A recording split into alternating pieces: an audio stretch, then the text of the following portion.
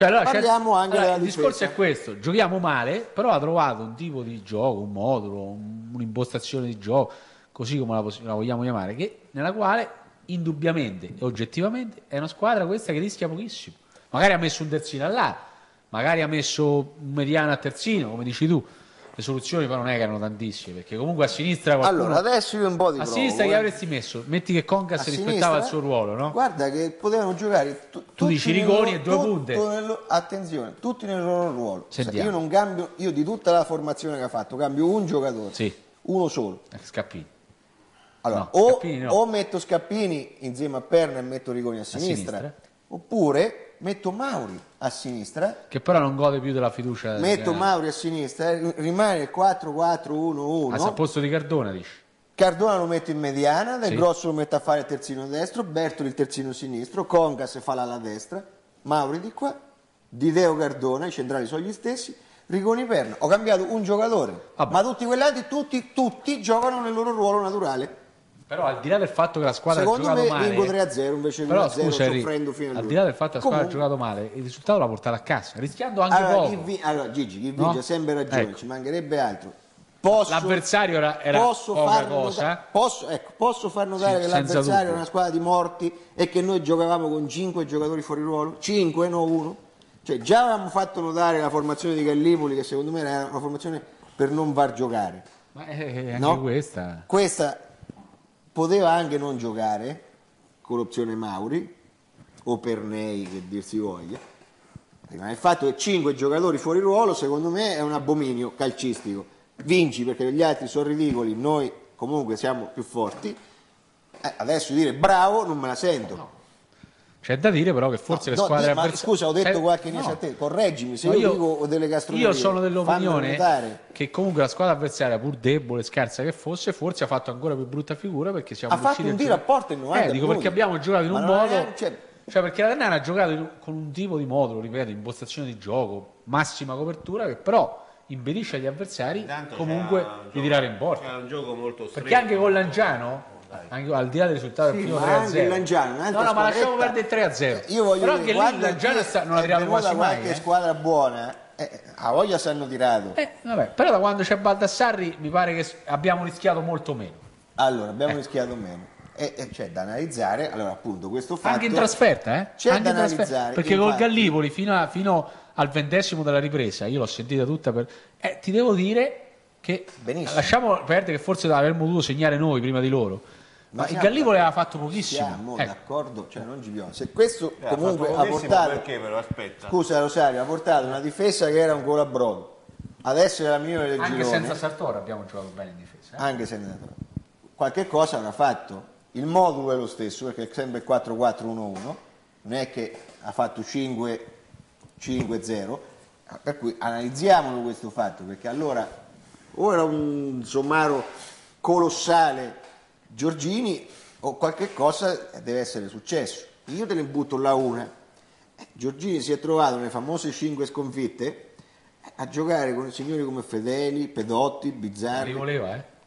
Eh, questi sono errori che si pagano, però Sartor era infortunato, Del Grosso era infortunato, li avrebbe fatti giocare probabilmente, Di Dio non era ancora disponibile, Ma Di mentre Dio è stato reintegrato appena andato via. appena andato via lui eh, subito lui ce l'ha avuto disponibile Baldassare, sono stati comprati Bertoli e Borghetti che sono più due- avanti. due buoni, Più avanti però. più avanti, no? Gennaio, sì. Comunque secondo me, Due buoni poi non torniamo a parlare di Giorgini.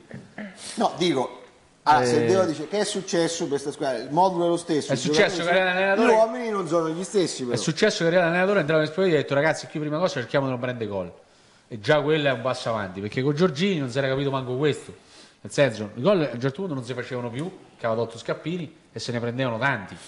E poi non c'era, secondo me, quel carattere combattivo, quella grinta, quella, quella voglia di, comunque di portare a casa il risultato che si è vista da quando è venuto Baldassare. Su questo non c'è dubbio. Giorgini era un allenatore in pensione.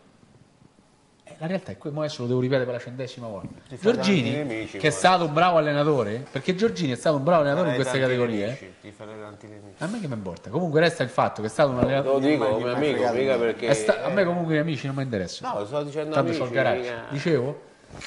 C'ho il garage. Dicevo? Ah, ce l'hai, no? Dicevo. Eh, E poi casomai tanto se ne faranno tanti nuovi di posti auto a Terni, quindi Gigi ne potrà comprare gli altri. Ecco. Dicevo? I Costruttori. migliori... Scusa, eh, scusa. Dicevo. Eh, non non ve sto a capire. No, volevo dirti, Giorgini è stato fra i migliori allenatori di questa categoria. Resta il fatto che è venuto a Terni demotivato, tanto è vero, tanto è vero che la maggior parte delle... In Giabbat. Eh, Cingia batte, tanto è... in vestaglia, tanto è vero che la maggior parte del lavoro lo faceva Marcattini, che voleva- che io non l'ho visti mai allenamenti, però me l'hanno detto. A parte che qualche allenamento l'ho visto, però mi dicono che non l'ho visti mai. Ma hanno raccontato però molto bene che Marcattini era più, molto più motivato, aveva fatto il suo lavoro. Purtroppo però il lavoro principale lo deve fare l'allenatore, diciamo, che Principale. eh, è l'allenatore principale, non l'allenatore in seconda, perché poi è chiaro, un conto è il carisma di Giorgini e un conto Marcattini che si affacciava adesso. Con Baldassarri non è cambiata la preparazione tattica, anzi, anzi, secondo me, secondo me ce n'ha più Giorgini, se si fosse... Però con Baldassarri è cambiato il fatto che questo è sceso negli spogliatoi molto più motivato. Gli ha detto ragazzi qui bisogna che ci salviamo, se no poi no, non è più che motivati, secondo me hanno, si, sono guard- sono- si sono guardati in faccia e hanno capito, secondo me, che cosa stava succedendo in questa Poi squadra. Baldassarri non ha creato- c'era una clan. una tendenza a seguire Giorgini Solo e c'erano i giorginiani. Ecco, e adesso ci sono più baldassariani che giorginiani. Secondo È me però, semplice. però, Baldass- però Baldassarri È ha fatto di tutto perché questi con estrema educazione, con estrema educazione e coloro che offendono l'allenatore sul terreno di allenamento devono capire che queste cose non si devono fare. Comunque, I insomma, giocatori che ancora offendono Baldassarri e che gli Giusto. dicono a denti stretti Giusto. quelle cose che hanno detto e continuano a dire, non lo devono dire. A che ti riferisci? Beh, non, no- Pigliamo una querela. ma Rosario so parecchie Ma tu volte. capisci? Io non ho detto niente, però sono curioso. Rosario, non capisco anche l'altra volta c'ero anch'io lui c'era. Ragazzi, io seguo la Ternana in casa e fuori casa da ragione, 5 è così, 8 è anni. Lui dice sempre Quindi l'unica gara che ho, che ho saltato io in Serie B Salernitana Ternana, poi le ho fatte tutte. Quindi due sempre- che fa, io ero a Gallipoli. Lui dice sempre Quindi- questa, anche a due, Ma anche un po' di... così. Di Eh, anche, domen- anche sabato abbiamo visto qualche... Vabbè, ma è- Qualche bisogna, bisogna del cambio. rispettare il lavoro degli altri, comunque sia stato fatto nel bene e nel male, con gli errori, con le pecche, ma bisogna rispettare. certo.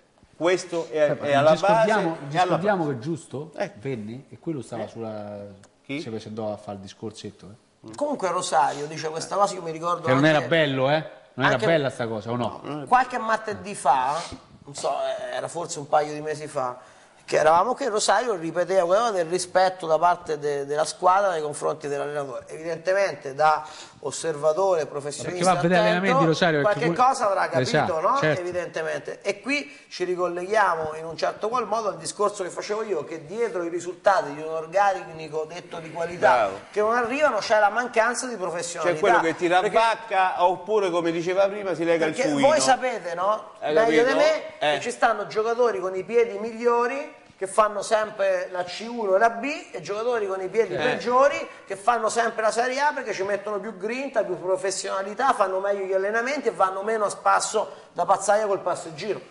E chiudo. E voglio prendere un altro discorso. Finché col passeggino. Vabbè, ma col passeggino voglio è la moglie che fa shopping, insomma. vabbè che c'è Eh, morta a noi che oh, c'è morta a noi? Ma noi siamo liberati. Che c'è morta a noi No, No, siamo- quando momento di no, crisi, stiamo per qualcuno c'ha dai, 2 lire da spendere per questa per spittica aspetta, economia. Stiamo per diventare No. liberali. No. Però aspe- io voglio dire una cosa, dico a Terni, dico cioè quello che secondo me dob- dobbiamo renderci conto che la categoria che è giusta per una città come Terni, in linea di massima, è la Serie B. Va bene?